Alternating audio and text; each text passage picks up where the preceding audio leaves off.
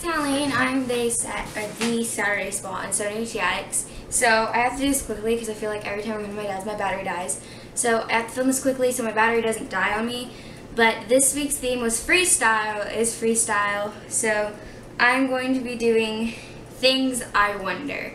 So basically this is just like telling you things that I don't get in Once Upon a Time. Like I get mostly everything in Once Upon a Time, but these are the th few things that I don't. So the first thing is Emma being like the dark one or whatever. She had the potential for darkness because she's the product of true love. But baby Neal is also the product of true love.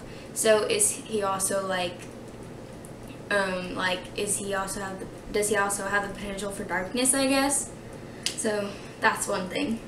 Second thing is where did Maleficent and Lily go? They just like disappeared.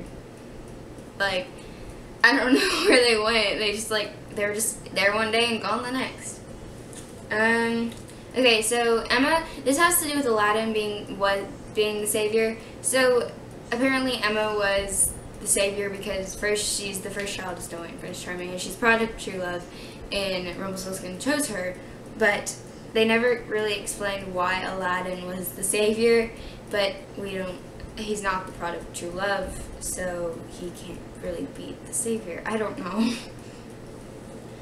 um, I think I get this one, but I just want to put that out, out there because most people don't like don't like see it.